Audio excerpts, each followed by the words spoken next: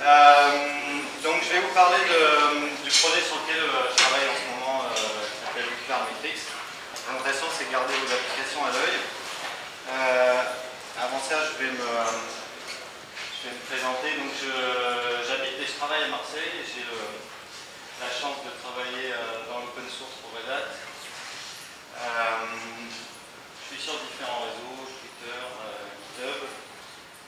En général, j'utilise euh, le pseudo TC Gismon, et c'est à peu près toujours la même photo que vous verrez partout. Euh, voilà, je vais, je vais, vous parler euh, du programme de, la présentation. Donc, qui dans la salle a déjà utilisé un outil de monitoring Si je dis ça comme ça. Waouh Ok. utiliser et maintenant installer, installer sur son poste pour ou dans un, environnement de dev ou de, recettes, c'est pas mal non plus. Bon. Euh, alors en fait, la présentation elle va commencer par une explication de ce que c'est que le monitoring, des outils qu'on utilise dans le monitoring pour pouvoir suivre ce qui se passe en production. Et ce que j'aimerais que vous fassiez pendant, ce temps-là, c'est que vous essayez d'imaginer, pendant que j'explique à quoi ça sert dans, la production, ce que que vous essayez d'imaginer pourquoi vous pourriez vous en servir dans vos applications. Et, d'essayer de, trouver euh, une ou deux idées d'une fonction dans, votre application pour laquelle vous aimeriez bien suivre ce qui se passe et en, tirer des, leçons, des enseignements, etc. Alors quand on aura parlé de, monitoring en général, je vous expliquerai un petit peu euh, d'où vient le projet Ocular. En fait, c'est réécriture du projet sur lequel on travaillait auparavant qui s'appelle RHQ. Euh, ensuite, je ferai une visite guidée de Ocular Metrics, des fonctionnalités euh, qui sont déjà implémentées. Quelque chose de très très récent, on a commencé à travailler sur, euh, cette nouvelle version à la fin de l'année dernière. et ensuite, je vais essayer de vous faire une petite démonstration, j'espère que tout se passera bien. Et puis je vous parlerai du futur d'Ocular, pas seulement ce qu'on fait dans Ocular Metrics, mais ce qu'on fait à côté d'Ocular Metrics et qui, euh, je l'espère, euh, pourra vous intéresser. Alors, le monitoring, à quoi ça sert? Vous avez tous euh, une idée là-dessus peut-être? Moi j'aime bien cette image. En fait, on est tous un peu aveugles quand on met une application en production, on a fait, on a fait son code, etc. On, pense qu'on a fait au mieux. Et puis, bon, ben, en fait, on ne sait pas grand-chose sur la manière dont elle va se comporter et le but du monitoring, c'est de passer de la taupe complètement aveugle à la taupe euh, qui a un petit peu plus de vision. Et l'autre image que j'aime bien, c'est que, pour essayer d'expliquer à quoi ça sert, c'est que j'avais une, ACV voiture avant, euh, et le tableau de bord euh, avait un problème de rétroéclairage. Donc, tant que je roulais dans Marseille tranquille la journée, il n'y avait pas de souci. Et puis un jour, je me suis retrouvé sur l'autoroute avec, avec comment dire, une portion d'autoroute qui n'était pas euh, éclairée du tout. Et quand vous roulez à 110, 130 euh, avec votre voiture, même si elle est un peu pourrie, elle roule quand même vite, euh, ben, c'est assez gênant en fait d'avoir aucune information sur ce qui est en train de, se passer. Vous entendez des bruits, vous entendez que là ça, pousse un peu fort, il faut peut-être passer un rapport, etc. Mais surtout sur les bruits de voiture, ça s'entend bien. mais, mais, vous ne savez pas exactement à quelle vitesse vous roulez. Si jamais il y a un problème, d'un seul coup, le, l'huile chauffe trop, vous n'aurez pas de, voyant qui va s'allumer, vous ne verrez rien. Et c'est exactement à ça que ça sert le monitoring, ça sert à avoir une vision de ce qui se passe sur euh, vos applications. Donc, le monitoring, c'est simple, c'est prendre des mesures, en fait. Et alors, on prend des mesures pourquoi On prend des mesures ben, pour euh, savoir ce qui se passe à un instant donné, comme je viens de le dire, on veut savoir euh, sa vitesse, peut-être on veut connaître on veut mesurer une distance, on veut mesurer une, accélération, on veut mesurer euh, euh, une profondeur, n'importe quelle sorte de mesure en fait. Et vous, vous pensez bien aux, mesures que vous aimeriez prendre sur vos applications. Et pourquoi on prend des mesures, pourquoi on veut observer C'est parce qu'on veut comprendre.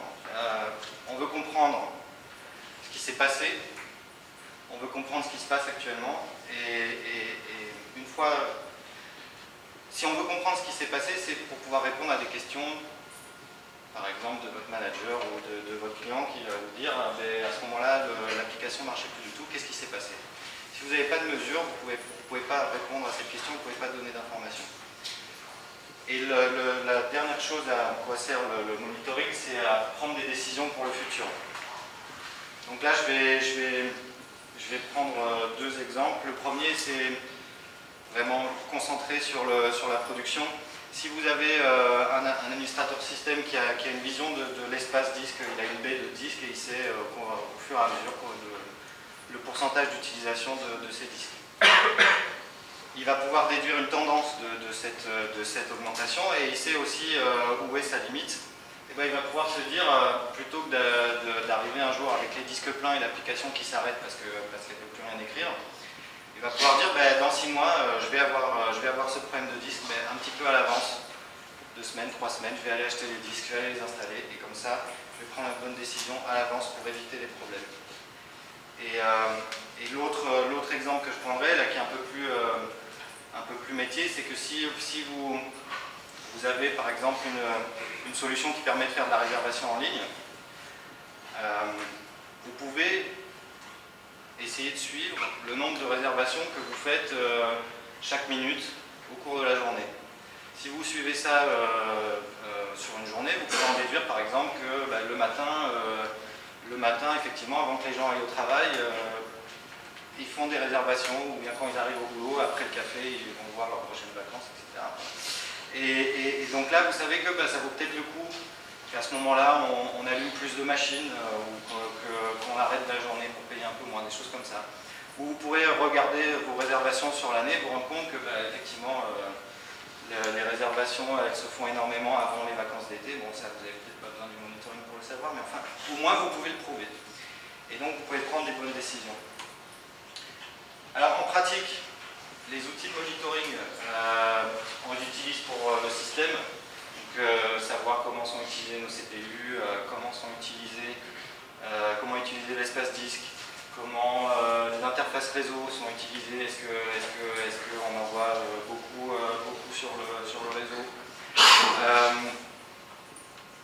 L'autre chose qui est faite très couramment, c'est de mesurer votre middleware. Donc si vous avez un serveur JBoss, un serveur Tomcat, euh, même si vous avez du Vertex, euh, vous pouvez aussi maintenant, on en parlera un petit peu tout à l'heure. Euh, vous allez vouloir savoir combien de requêtes rentrent sur votre machine par seconde, combien de, si vous avez une application de servlet ou Java EE, vous aurez sûrement des sessions qui sont créées, vous voulez peut-être savoir combien de sessions qui sont, qui sont actives à un instant donné. Alors là, c'est le, travail qu'il y a pour vous. Je, vous ai déjà parlé du système de réservation, mais on peut imaginer plein de choses. N'oubliez pas, à la fin de, la présentation, je vous demanderai si vous avez une idée de, ce que vous pouvez mesurer dans votre propre application. Euh, un autre euh, domaine où le, monitoring fait euh, un très bon usage, c'est l'Internet of Things. Donc ça, tout à l'heure, Nicolas en parlera un peu plus que moi quand il parlera de sa serre, automatisée. L'IoT, c'est vraiment beaucoup ça. Il y a beaucoup de, capteurs qu'on installe pour prendre des pressions, des températures, pour savoir, je ne sais pas moi, un taux d'humidité, etc. Si vous voulez prendre une décision pour votre serre. Donc ça, le monitoring, ça s'applique très très bien à ça. Un autre domaine en tant que développeur qui est intéressant, c'est le test de charge ces, outils-là, ils, peuvent, vous permettre, sans que ce soit en production, quand vous faites vos tests avec Jmeter ou avec Gatling, euh, je ne sais pas euh, si vous utilisez l'un ou l'autre ou les deux, euh, il y, a deux choses que vous allez mesurer. Il y a d'abord les temps de réponse de votre application, le, nombre de requêtes par seconde, le, throughput que, vous aurez aussi réussi à atteindre. Mais ce qui est intéressant, ce n'est pas seulement ce chiffre-là, c'est de voir ce qui s'est passé sur les machines pour obtenir ces chiffres. Donc vous voudrez savoir comment votre machine s'est comportée, euh, justement on parlait du CPU, etc. Et vous pourrez aussi euh, euh, mesurer les choses de votre middleware, de vos applications, etc. Alors, si vous avez, vous avez utilisé quoi comme outil de monitoring Nagios? Tout le monde? Centrion Ganglia Quelqu'un Non? RHQ Bon, c'est pas grave. Euh, dans, un système de monitoring, il y a un composant qui est, très important, à la base, c'est le collecteur. En fait, le système que vous allez vouloir observer, il va exposer des valeurs, des compteurs, euh, donc si c'est si un, un, serveur JBoss, il il va, exposer un compteur sur, sur JMX ou dans l'interface de monitoring, il va exposer un compteur sur le nombre de sessions actives à un instant donné. Si vous, êtes, vous faites de, votre serre automatisé, vous aurez un capteur qui va exposer une valeur sur euh, la pression ou l'hygrométrie euh, à un instant donné. Donc ça, le travail du collecteur, lui, c'est d'être à côté des endroits où d'être installé à côté des endroits où sont prises les mesures, de récolter ces, mesures et de les envoyer au, à un traitement, un système de traitement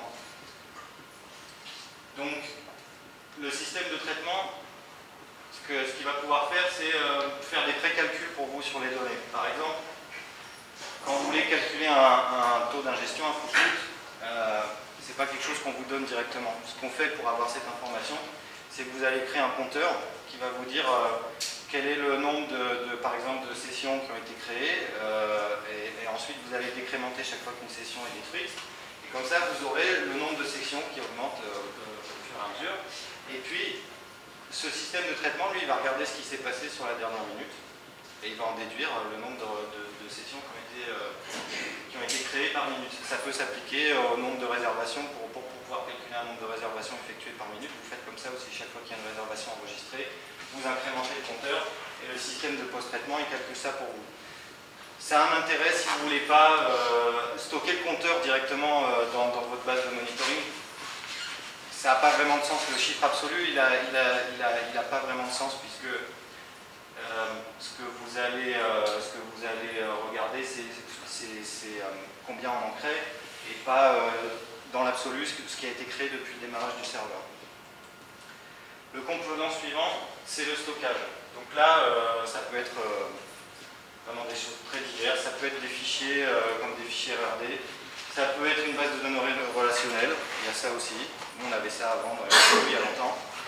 Euh, ça peut être euh, une base de données spécialisée. Ça peut être euh, une base orientée des documents, enfin, un système de stockage. Et le dernier élément qui est très important dans un système de monitoring, c'est la GUI. Et donc, donc à, quoi, à quoi va servir cette GUI Elle va vous servir à avoir les représentations qui sont humainement, euh, humainement compréhensibles. Donc euh, dans la voiture, bah, c'est le tableau de bord. Euh, en production, ça va être des graphes avec, que, vous allez, mettre en relation les uns avec les autres. Généralement, les systèmes de monitoring, ils ne sont pas organisés de façon aussi, aussi simple et découpée. Vous pouvez avoir le, système de traitement qui est avec le collecteur, ou alors le système de traitement qui est dans le système de stockage, mais là, l'idée, c'est vraiment que vous, compreniez qu'il y euh, ces éléments-là, et que, ça, ce sont les quatre éléments qu'il y a systématiquement dans, un système de monitoring. Alors, peut-être que vous ne travaillerez jamais euh, en tant que sysadmin ou que vous ne travaillerez jamais en, mode DevOps, en, binôme avec, avec un sysadmin pour faire tourner votre application. Mais bon, au cas où, on ne sait jamais. Euh, si, euh, euh, vous avez bien fait votre, travail, vous avez bien monté votre système de monitoring, vous aurez, réussi à bâtir des choses comme ça. Donc un beau dashboard, vous voyez, là la mémoire, le CPU ensemble, le, nombre de, clients connectés, les logins en haut, enfin bref, c'est super bien. Maintenant, est-ce que ça c'est bien pour gérer une production? Vous pouvez vous asseoir devant votre poste et faire F5. Regardez le truc qui avance. Les systèmes de dashboard un peu intelligents, ils ont un système d'auto-refresh, donc ça vous évite le F5. Euh, mais évidemment, ce n'est pas suffisant. Vous n'allez pas dire euh, à votre manager euh, vas-y, paye-moi pour que je fasse F5 et regarder ça défiler et que je puisse te dire s'il y a un problème. Non, c'est pas possible. Et en plus, je n'aurais sûrement pas envie de faire ça. Donc, si on veut bien gérer une prod, évidemment, le système de monitoring, ce n'est pas, euh, pas suffisant. Vous aurez besoin de systèmes pour gérer vos logs. Euh, parce que si, euh, si, vous avez une seule machine avec une seule application, c'est pas compliqué, vous faites SSH dessus, vous allez faire tail, vous regardez le fichier, ou laisse si vous voulez remonter un peu. Bref, ça va. Si vous avez, vous commencez à avoir deux machines, bon, ok, vous allez faire un petit peu, organiser un petit peu votre client SSH pour que ça aille plus vite, c'est encore gérable. Quand il y en a 3, 4, 5, 6, 7, puis 10, puis 200, puis 1000, plus 10 000, c'est plus possible. Donc il vous faudra un système pour centraliser ces logs, les interroger, évidemment, etc. Euh, vous aurez aussi besoin d'un système qui va gérer euh, les événements dans votre production. Alors les événements, ça peut être, euh, ça peut être tout et n'importe quoi. Vous pouvez avoir par exemple un système d'audit qui va vérifier que d'un point de vue de sécurité, personne s'est connecté à cette machine-là de façon un peu bizarre. Normalement, il n'y a que l'admin qui a ce poste avec cette IP-là qui peut, qui peut y accéder. Donc on a fait un petit système, on sait qu'il n'y a que cet utilisateur, que cette IP. Et à ce moment-là, si vous voyez qu'il y a un problème, ben, vous envoyez un, événement. Alors ça peut être fait euh, n'importe comment, hein. euh, ça peut être un système avec des, messages échangés, des choses comme ça. C'est pas obligatoire, on le fait comme on veut, mais il vous faut un système d'événements auquel vous pouvez réagir. Euh, dans le cadre d'une application, le système d'événements, ça peut être, si vous avez une application par exemple qui, s'occupe de, vérifier sur une chaîne de production que les pièces qui ont été fabriquées, elles, répondent aux critères euh, de, fabrication.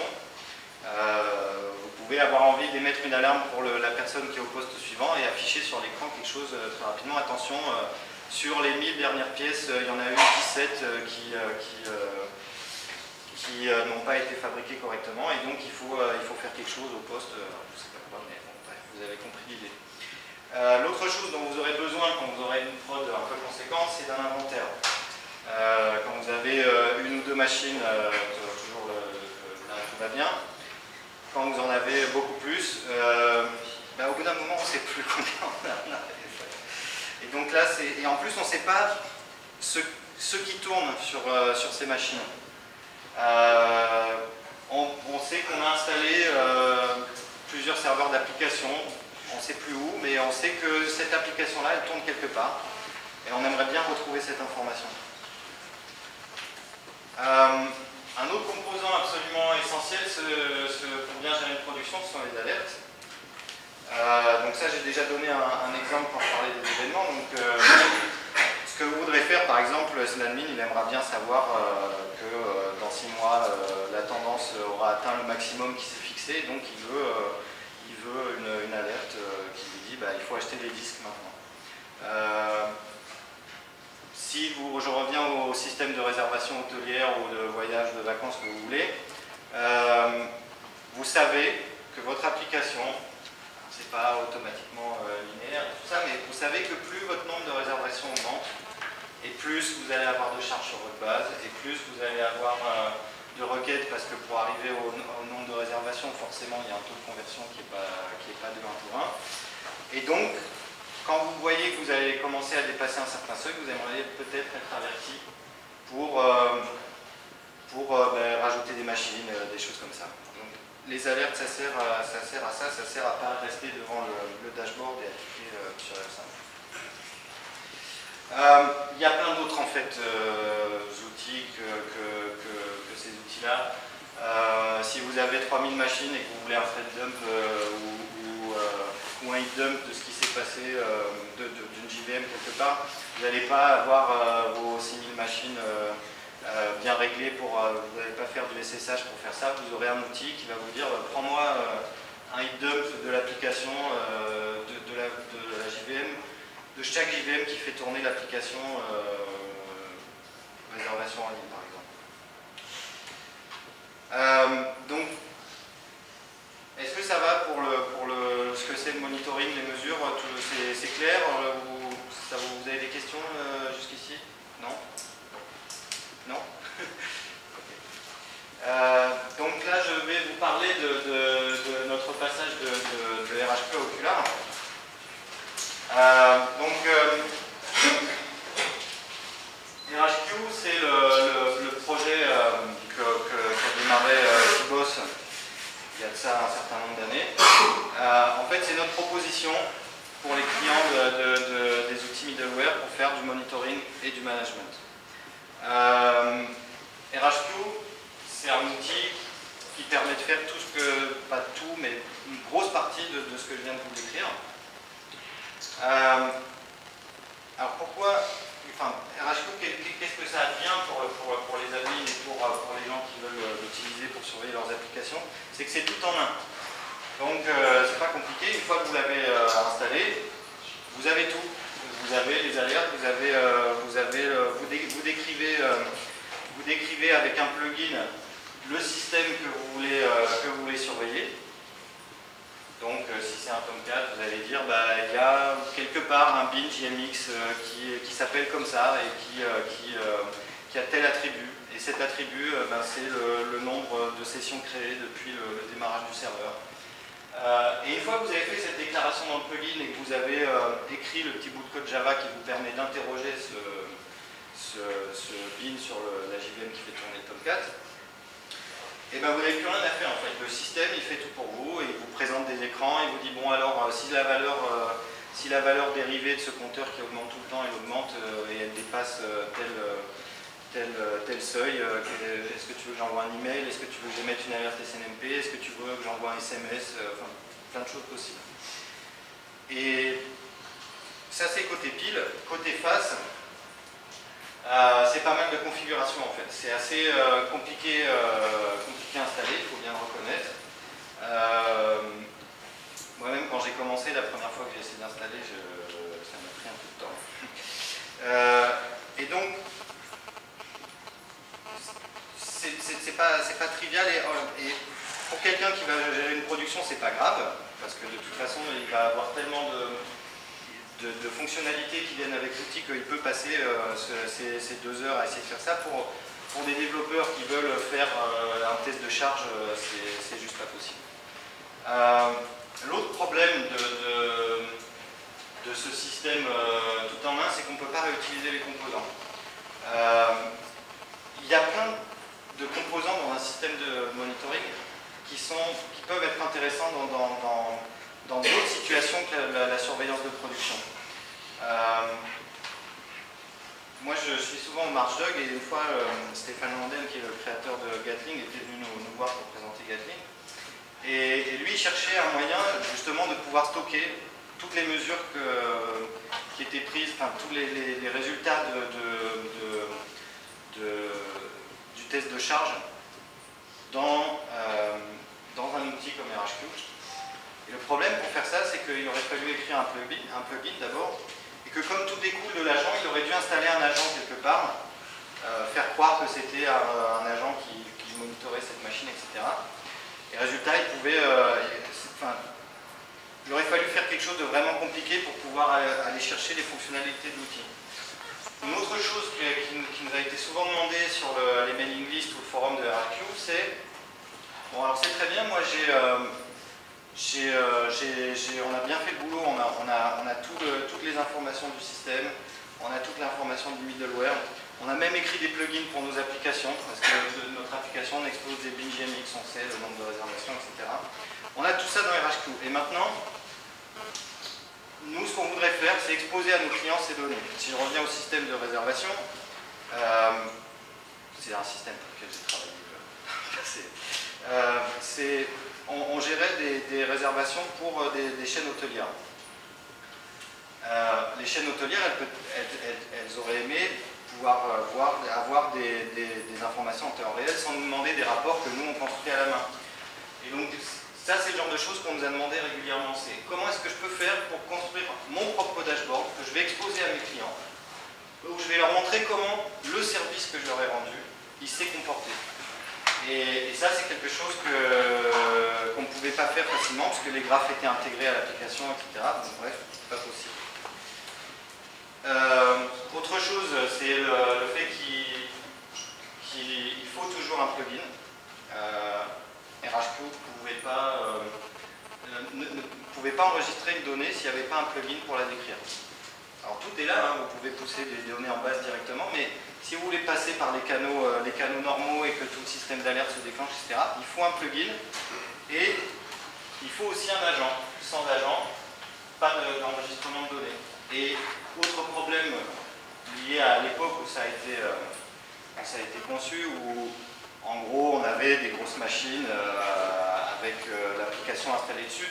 Donc tout a été pensé comme découlant d'un agent installé sur une machine.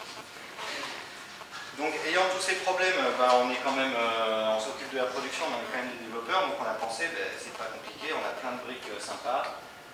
Bon là ce qui est un peu, qui est un peu raté, c'est que c'est toutes les mêmes pièces de puzzle. on s'est dit, on va découpler. Et donc euh, on a lancé le projet Ocular, je vous l'ai dit, à la fin de l'année. Et moi, ce dont je vous parle aujourd'hui, enfin, ce, dont je vais vous parler un peu plus en détail, c'est juste une petite brique, c'est Ocular Metrics.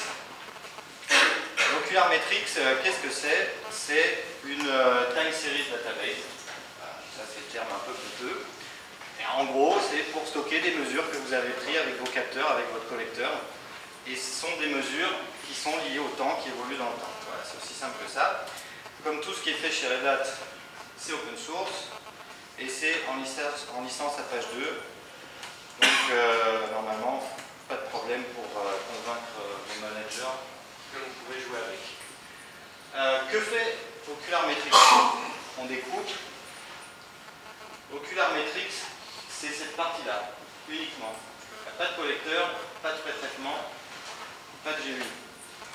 Ça ne veut pas dire que vous ne pouvez pas utiliser Ocular Metrics seul pour le brancher avec, euh, avec des outils de dashboard ou avec des collecteurs existants. Euh, d'ailleurs, c'est ce qu'on va faire euh, après pendant, pendant les démos. Un des problèmes qu'on avait aussi avec RH c'était que quand vous avez votre propre système de plugins, ben, il vous faut des plugins pour tout. Si vous voulez surveiller le, CPU, il vous faut un plugin vous, que vous, vous mettez à disposition de la communauté. Si vous voulez créer, si vous avez votre système qui est installé en production, il y a de grandes chances que les gens aient des systèmes de base de données un petit peu euh, encore. Nous, on ne développe pas tout ça. En revanche, dans les communautés d'autres produits de monitoring, des collecteurs euh, indépendants qui fonctionnent tout seuls, il y en a plein. Et des plugins, il y en a plein. Et donc, nous, ce qu'on s'est dit, c'est qu'on veut pouvoir faire profiter aux utilisateurs de, toute, cette, connaissance qui a été déjà accumulée et de pouvoir utiliser des collecteurs indépendants facilement avec, euh, Ocular Metrics. Alors les briques qui constituent Ocular Metrics euh, Apache Cassandra. Voilà, donc ça j'expliquerai pourquoi après. Euh, on fait des, services REST aussi pour que ce soit euh, exposé euh, facilement, donc ça c'est avec REST et tout ça tourne dans du Whitefly. Alors comment est-ce que ça fonctionne? Donc on a une, librairie core qui est écrite en Java 8 avec Java et au-dessus du, driver Cassandra. Donc c'est complètement, complètement asynchrone. Ça, c'est pas pour les, utilisateurs habituels. Euh, nous, c'est ce dont on sert pour bâtir le, serveur, euh, l'interface REST HTTP. Et on l'a créé comme ça parce euh, en interne, il y avait d'autres projets qui, étaient intéressés par la fonctionnalité et qui ne voulaient pas forcément venir avec tout le serveur et voulaient embarquer juste la possibilité avec une lib Java d'enregistrer des métriques dans, dans, dans Cassandra. L'API REST, on l'a fait avec JXRS 2. vous connaissez un peu euh, JXRS 2 euh, Donc, ce qui est bien dans JXRS 2, c'est que vous pouvez faire des, euh, traitements asynchrones. Ça, ça se marie très bien avec, avec la librairie, avec Java. Et la dernière chose qui est importante de savoir aussi, c'est l'API, c'est tout JSON. Et, donc, ces choix, on les, a fait, pour répondre à différents objectifs. Le premier, c'est qu'il y ait une API facile à utiliser. Le but, c'est que même avec un simple script bash, vous puissiez écrire euh, une petite commande curve, écrire un tout petit bout de JSON, pas compliqué, euh, deux accolades en disant timestamp, value, on, poste et c'est fini. Voilà. Euh, après, évidemment, l'API pour requêter l'information, elle est forcément un, petit peu plus complexe, mais en tout cas, pour pousser les données, qui est extrêmement important dans un système de monitoring, on ne demande pas plus que ça euh, une liste de timestamp et de values. L'autre chose qui est très importante pour nous, c'est la vitesse d'absorption. Euh, si on veut gérer des, parcs de production avec 1000, 2000, 3000 machines, on va avoir quoi par machine? On va avoir euh, toutes les données sur le CPU, toutes les données sur la mémoire, toutes les données sur la carte réseau, toutes les données sur les file systems, euh, toutes les données sur le Tomcat. A peut-être 10 ou 15 si c'est une grosse machine avec 48 CPU et, beaucoup de mémoire. Plus les données de votre application. Et donc là, vous pouvez déjà imaginer que sur juste une seule machine, vous pouvez avoir 1000, 2000, 3000, 3000 mesures qui peuvent vous intéresser. Vous multipliez ça par le nombre de machines et par le, nombre de rapports qui sont faits, euh, qui sont faits euh, toutes, les, secondes ou toutes les 20 secondes selon comment vous avez réglé. Ça fait un volume d'absorption qui est absolument énorme. Mais ce qu'on ne veut pas, c'est construire un système qui, pour absorber cette, euh, cette, cette quantité de données, ait besoin de 15, 20, 30 machines. C'est pour ça qu'on euh, qu'on a choisi Cassandra entre autres. Euh, donc voilà, Ocular Metrics, c'est ça, c'est Patrick. C'est Patrick qui un burger. Voilà. Là, vous avez l'idée. Vous allez le revoir. Alors pourquoi Cassandra J'en ai déjà un peu parlé. Euh, dans un système de monitoring, on a beaucoup plus d'écriture que de lecture. Et, et, pour ça, Cassandra, c'est vraiment c'est vraiment euh, très, adapté. Euh, il y a des mauvaises langues qui vous diront que Cassandra, euh, c'est la base de données pour écrire les données qu'on veut oublier après, dont on ne relira jamais. En fait, c'est un monitoring. Vous allez stocker plein de trucs au cas où vous en auriez besoin. Vous n'en aurez pas toujours besoin, mais en tout cas, si vous en avez besoin pour, pour un vous ne pouvez pas prévoir à l'avance qu'il vous les faut, et donc il faut en écrire beaucoup et être capable de les lire trop lentement, mais ce n'est pas la priorité. Euh, pour moi, ce n'est pas une base exotique. Qui a déjà fait du Cassandra ici euh, dans une application? 4, 5, ouais. Et pourtant, ce n'est pas une base exotique. Euh, alors pourquoi je dis ça? Parce que si je vous parle de, de, système de stockage dans le monitoring de fichiers RD Tool, quelqu'un connaît ça Ou juste de nom? Ah, deux quand même. Mais bref, quand vous voulez installer Cassandra, c'est pas quelque chose de compliqué à faire. Euh, peut-être qu'il y a 5 ans, euh, c'était compliqué de trouver des informations. Aujourd'hui, il y a quand même une, société comme DataStax derrière qui, quand même beaucoup pour les tutoriels, etc. Installer un serveur Cassandra, on va le faire après, vous allez voir, c'est aussi simple que de, de, de, dézipper, euh, une archive et de faire, euh, faire ça. c'est aussi simple que ça. Euh, ce qu'on voulait aussi pour ce système de stockage de métriques, c'est qu'il soit facilement adaptable à la charge, donc, et qu'on n'ait pas besoin de trop de machines. Donc, ce que vous allez faire si vous voulez monter en charge parce que vous avez de plus en plus de mesures, c'est que vous allez commencer par, par ajouter un nœud, un nœud au cluster Cassandra. Alors ça, c'est justement, c'est bien, Cassandra, pour ça, c'est vraiment très bien. Vous dites, euh, mes petits copains euh, dans le, du cluster, euh, ils sont sur tel IP, tel port, et lui, il, gère ça pratiquement tout seul. Vous avez encore plus de données, hop, vous allez rajouter un troisième serveur. Et puis bon, ici, vous allez quand même faire un peu de boulot pour, pour, pour parser le, le, JSON qui rentre et aller le stocker. Alors notre but, c'est que le, travail qui est, là, il soit le, plus petit possible. Hein, et que, en fait, euh, ce, serveur, il, il, serve juste à prendre le JSON, à le, mettre d'une façon intelligente euh, pour Cassandra et à lui passer. Globalement, il ne fait pas grand-chose. Il passe plus de temps à attendre qu'à travailler. Peut-être quand même qu'au bout d'un moment, euh, vous aurez besoin d'un il n'a pas voulu passer au, au slide suivant. Vous aurez besoin d'un deuxième serveur. Et d'un load balancer en face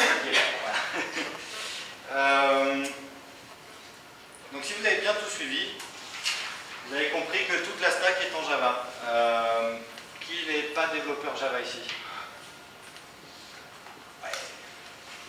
On a quand même une écrasante majorité. Et donc ça veut dire que quand vous cherchez quelque chose à faire le soir chez vous pour ne pas vous embêter, ben, vous pouvez venir nous aider un peu. Euh, en plus, il y a plein de techno sympas. C'est du RX Java, du Java 8, euh, de Cassandra. donc on sera très content si vous voulez nous, filer un coup de main. L'autre truc qui est bien avec, avec l'architecture tout en Java, c'est que ça marche partout. Et donc, voilà, ça, ça, leur fait plaisir à eux. Euh, en fait, ça nous fait plaisir à nous aussi. Euh, je sais pas, Emmanuel, je sais pas si tu, sais combien on a de clients middleware euh, qui, sont, euh, qui sont sur Windows, mais c'est quelque chose qu'on ne veut pas perdre. Les gens qui peuvent payer des productions avec Windows, ils ont de, l'argent et bon, on est comme tout le monde, on peut manger et, et c'est bien de pouvoir faire tourner son système de monitoring sur, sur toutes les plateformes. Voilà. Alors là, la visite guidée maintenant. Je vais essayer de ne pas faire ça euh, trop rébarbatif. Alors on est euh, multi-tenant. Euh, la raison, c'est qu'on on aimerait bien, pour, pour que les gens puissent se familiariser avec l'outil, pouvoir déployer la solution sur, sur OpenShift bientôt. et que si vous avez envie de faire des essais, vous n'avez même pas besoin de d'installer le truc vous-même, même si vous allez voir c'est pas compliqué. Euh, et aussi une fois que vous l'avez installé chez vous, si vous l'utilisez pour différents, euh, différents, euh, cas d'utilisation, vous pourrez avoir un tenant pour l'équipe de développement, un tenant pour les, informations qui vont concerner uniquement le, management, d'autres pour le, développement. Et si vous voulez, vous pouvez organiser ça aussi de manière logique par rapport au métier. Donc un tenant pour le, le bureau d'études, hein, un tenant pour les applications qui concernent le, les départements legal, etc. Euh, et donc voilà. Alors en écriture, vous en ai parlé un peu déjà. Euh, voilà, ça c'est un post. Alors c'est un peu formaté, donc c'est un peu plus. Euh, quand vous faites avec curl, en gros, tout ce que vous avez à donner, c'est le fait que ce soit un post. Vous donnez du service, donc là c'est une jauge, c'est-à-dire que chose qui évolue de, manière absolue. Euh, vous dites que c'est data parce que c'est de la donnée que vous enregistrez, vous dites que c'est du JSON et vous nommez l'information que vous voulez stocker. Donc là, c'est l'espace libre euh, sur ma machine. Et comme je disais, donc, euh, la liste des points que vous voulez stocker, le timestamp, la value, c'est pas très sorcier. En lecture, c'est pas, pas plus vous allez interroger euh, euh, la même, euh, vous allez interroger une autre URI, donc avec cette fois-ci le nom de la, de la métrique que vous avez sauvegardée, vous faites un get, vous voulez du, du JSON, et il vous renvoie la liste des points qui ont été stockés précédemment.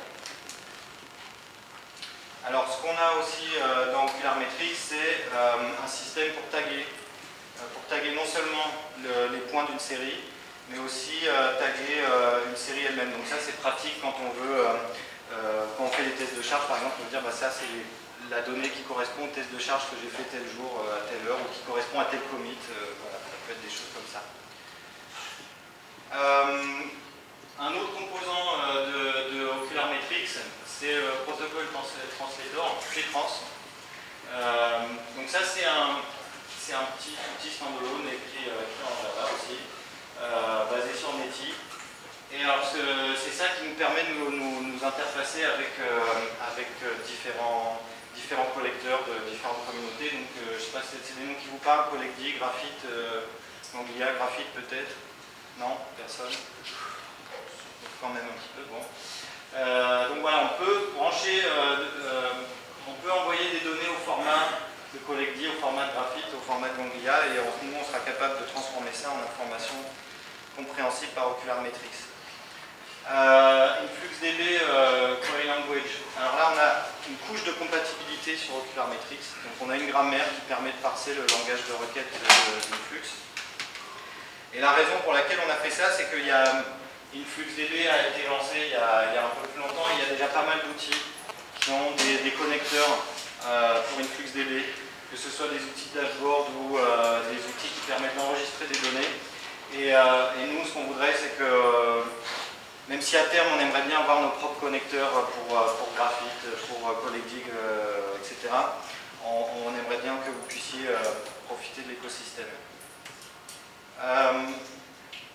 alors ce qui est en cours de réalisation, on a notre propre agent quand même qui, qui va venir. Donc ça, pour l'instant, on se concentre sur euh, DMR, qui est le, le, le, protocole d'interrogation de, management de, serveurs Wi-Fi et EAP. Et puis euh, sur les MBIN euh, JMX avec Jolokia. on a démarré aussi un Vertex Monitor, donc ça c'est une, implémentation de la SPI Metrics qui permet d'aller enregistrer les informations de, Vertex dans Ocular. Et puis euh, là, on est en train de, travailler euh, sérieusement sur euh, l'agrégation continue, qui est quelque chose qu'on avait déjà dans RHQ, mais qui n'est pas encore implémenté dans, dans le Et l'agrégation en continu, bah, c'est qui va vous permettre d'un moment de, de, réduire les fenêtres, de réduire la résolution de vos données. Vous pouvez collecter des données toutes les 30 secondes, toutes les minutes, ou même si c'est quelque chose qui est encore plus important euh, toutes les 10 millisecondes ou 20 millisecondes. Ça, ça pour savoir euh, ce qui se passe tout de suite et avoir une idée de ce qui se passe tout de suite. Évidemment, si vous voulez analyser un problème il y a un an, vous n'avez pas besoin de cette résolution. Enfin, dans la plupart des cas, vous n'avez pas besoin de cette résolution. Donc, plutôt que de garder tous les points euh, avec cette résolution, ce qu'on fait, c'est qu'on agrège un peu, on prend les, minimums, les, maximums, les moyennes, etc. Et comme ça, ça permet de réduire le volume de données qu'on doit stocker. Est-ce que vous avez des questions jusque-là? Oui? Ah. Double question, la première c'est le positionnement.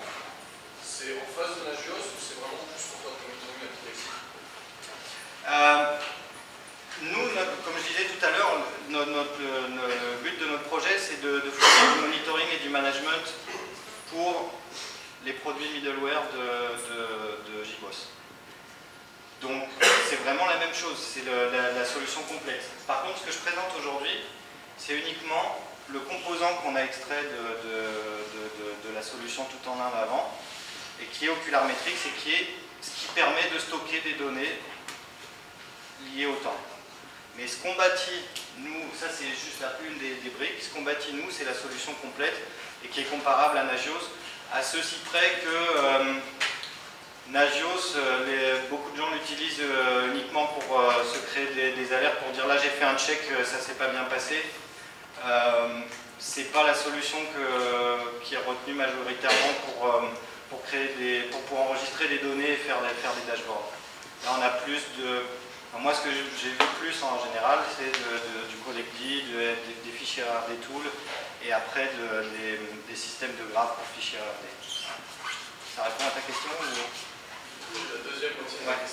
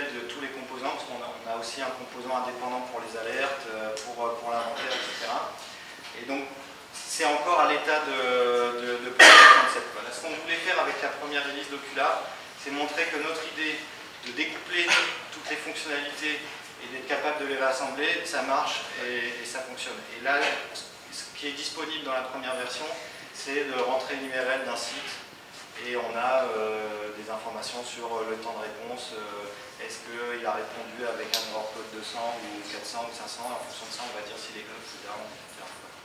Alors, deux questions, c'est quelle position par rapport au OpenTSDB euh, Qui a déjà installé HBase ici? Voilà, c'est ça notre positionnement. Mais, mais c'est une usine à gaz, quoi. Enfin, c'est basé sur HBase.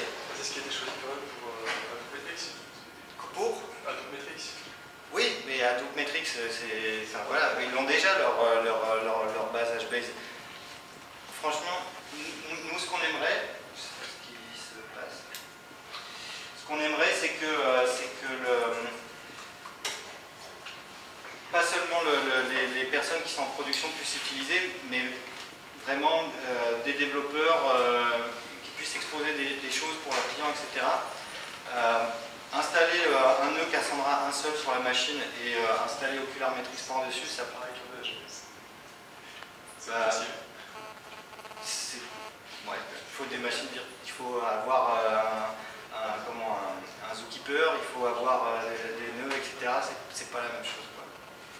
Et euh, dans, le, les services REST, ils font post et get. Et quid d'un agent qui enverrait, qui, qui polluerait avec des données euh, farfelues Est-ce qu'on peut faire des, des updates euh, C'est en partie possible pour l'instant. Possible.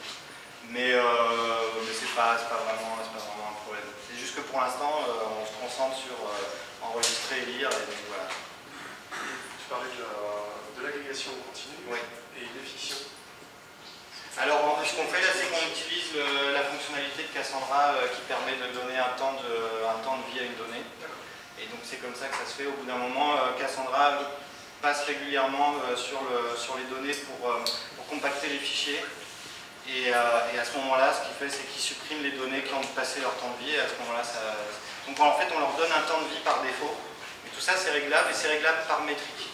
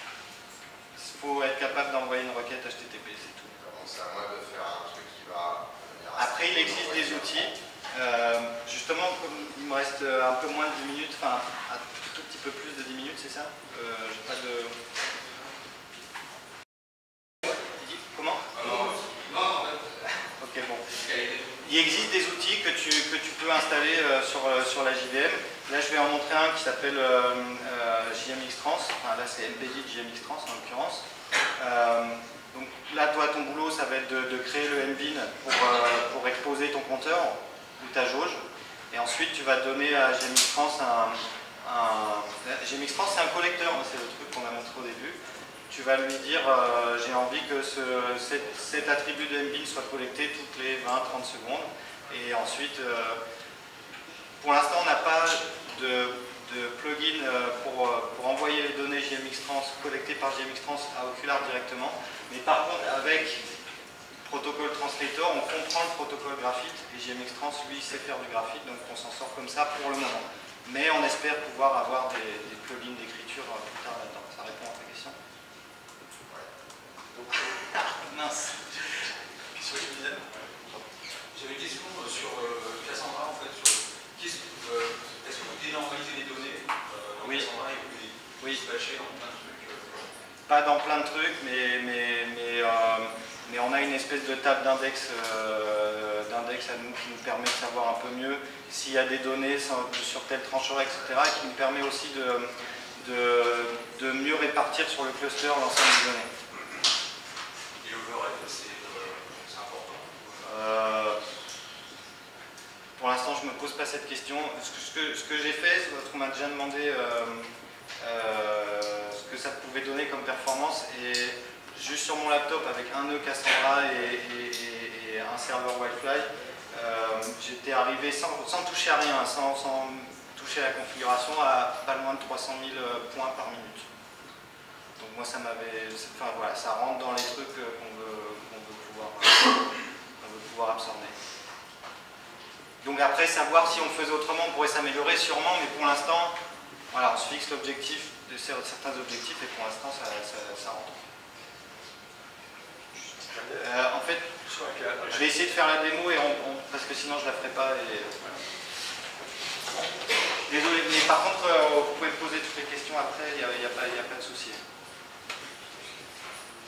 Alors, ce qu'on va faire déjà, c'est qu'on va essayer de repasser au mode euh, un seul écran. Ah non, c'est bon, j'y étais. Dommage. Excusez-moi. Voilà. Et voilà. Alors.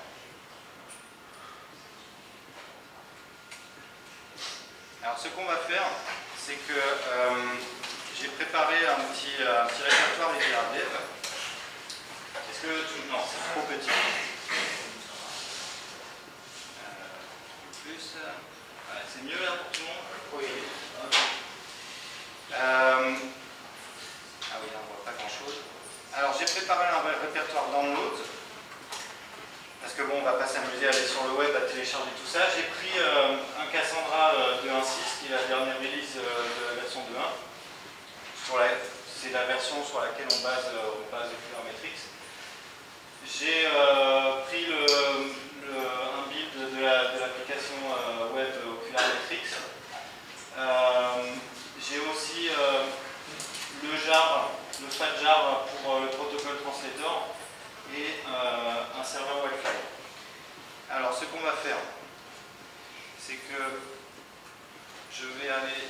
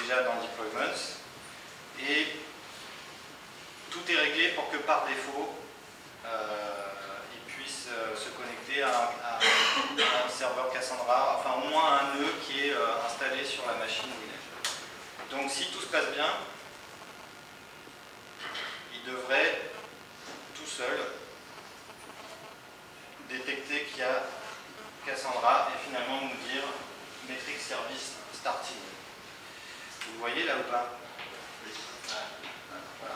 Donc c'était pas plus compliqué que ça à installer. Euh, la troisième chose qu'on va faire,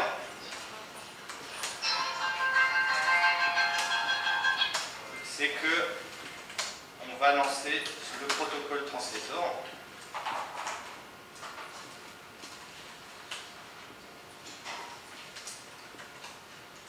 Voilà, c'est pas bien compliqué non plus. Euh, le FATJAR, le, le, le fichier de configuration en paramètres. C'est quoi Et les donc- jeux protocole translator Comment C'est quoi les jeux C'est ce qui permet de recevoir des informations euh, sur le réseau par les protocoles de, de collecteurs de, de la communauté, donc Collecti, Graphite, etc. Et dans tous ces protocoles, de, de récupérer les données de métrique et de les transformer euh, en requête Le serveur Ocular Metrics. C'est bon Voilà, donc là je suis fin prêt. Je peux, euh, j'ai juste dézippé euh, quelques, j'ai juste euh, deux archives, euh, récupéré euh, un fichier WAR et maintenant j'ai un serveur qui est démarré. Alors là j'ai un peu triché, c'est que comme c'est ma machine de développement et que je travaille beaucoup avec, avec Collecti, il est déjà installé sur ma machine.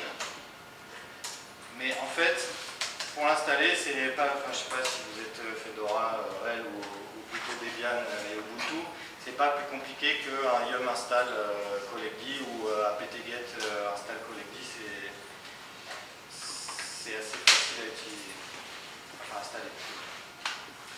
Donc là, ce que j'ai fait, c'est que j'ai déjà installé Collecti. Par défaut, il va aller déjà voir des choses sur le CPU, la mémoire, etc. Et la seule petite chose que j'ai faite, que je ne vais pas vous montrer parce qu'il ne reste pas beaucoup de temps, c'est que, que je lui ai dit d'aller euh, envoyer des paquets UDP sur localhost à un certain port, qui est le paquet habituel pour les, pour les, les- les démons collectifs pour se, pour se passer les données. Euh, et la dernière chose que je vais faire, c'est que j'ai envie, là, en fait, actuellement, euh, mon serveur Pétrance là, qui, écoute sur le, port euh, il est déjà en train de recevoir les données, il est déjà en train de les stocker. Donc ce que j'aimerais faire, c'est vérifier graphiquement que j'ai bien quelque chose. Donc là pour ça, je vais utiliser Grafana. Donc là je triche un peu, il y a une machine, euh, il y a pardon, un conteneur Docker qui permet de lancer un Grafana tout neuf euh, hyper facilement. Mais sinon c'est pas extrêmement compliqué à installer Grafana. Euh,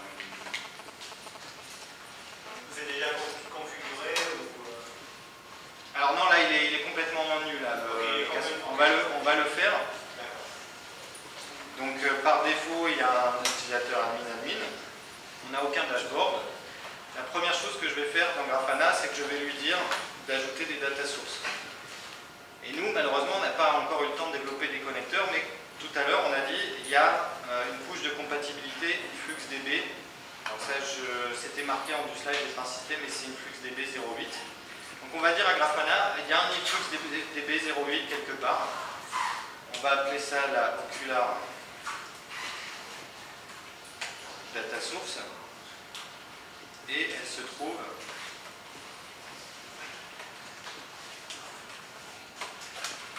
Vous voyez là, On va lui dire d'y accéder en direct, donc ça veut dire directement par navigateur. Alors, InfluxDB, il a un système multi-base de données que nous on n'a pas, donc en fait on donne un nom, euh, euh, qui correspond au nom du, tenant qu'on utilise. Et puis, euh, pour l'instant, l'authentification on ne le fait pas non plus, donc on peut mettre n'importe quoi, ça va marcher quand même. Donc voilà, là on a notre data source qui est créée. Maintenant, on peut créer un dashboard. On va faire New Dashboard. Donc là, ça y est, je suis en mode édition du dashboard. Je vais faire Add Panel Graph. Donc là, ça c'est un faux graphe. il n'a pas pris euh, une métrique au hasard. Euh, en fait, ce qu'il fait, c'est qu'il met un test graph avec une data source Grafana. Et nous, ce qu'on va lui dire, c'est je veux que tu utilises Ocular DS. Et là, en fait, il propose un, un éditeur euh, où ça vous évite de taper les requêtes, euh, les, les requêtes InfluxDB directement. Donc si tout se passe bien, tout se passe pas bien évidemment, il vous suffit de taper le, nom, de la, le nom de la série ici. Et il fait l'autocomplétion, mais là évidemment il fait des démo, je ne sais pas pourquoi il ne le fait pas. Pourquoi il ne le fait pas plutôt? Donc mes, mes, séries, elles sont bien là. On voit qu'il a bien commencé à collecter, mais je ne sais pas pourquoi il me fait le coup de l'autocomplétion qui ne marche pas. Bon, c'est pas grave, je vais en prendre une, euh, je vais en prendre une au hasard. Voilà, je vais prendre celle-ci. Et va me faire le coup de la donnée qui ne s'affiche pas.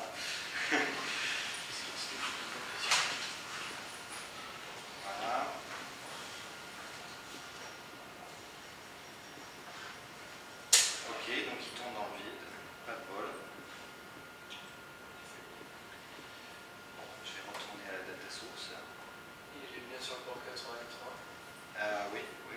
hardware.